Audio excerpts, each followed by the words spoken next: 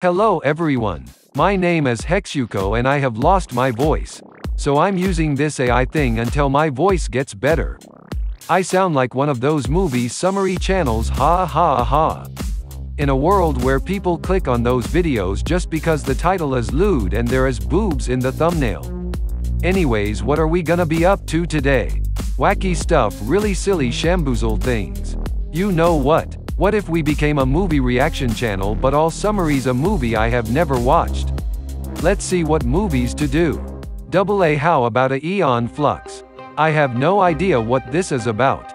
In a movie about a girl with similar hair to me kind she looks good. Okay so a dumbass fly just flew in her eye it's not impressive I am pretty sure I've done that before. So there was a Pog civilization. IDK care about the name but they got flying ships and stuff cool.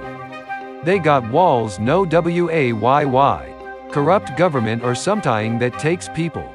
No way rebels. Not gonna like I skipped through the clips of this movie because I got bored and this typing thing sucks.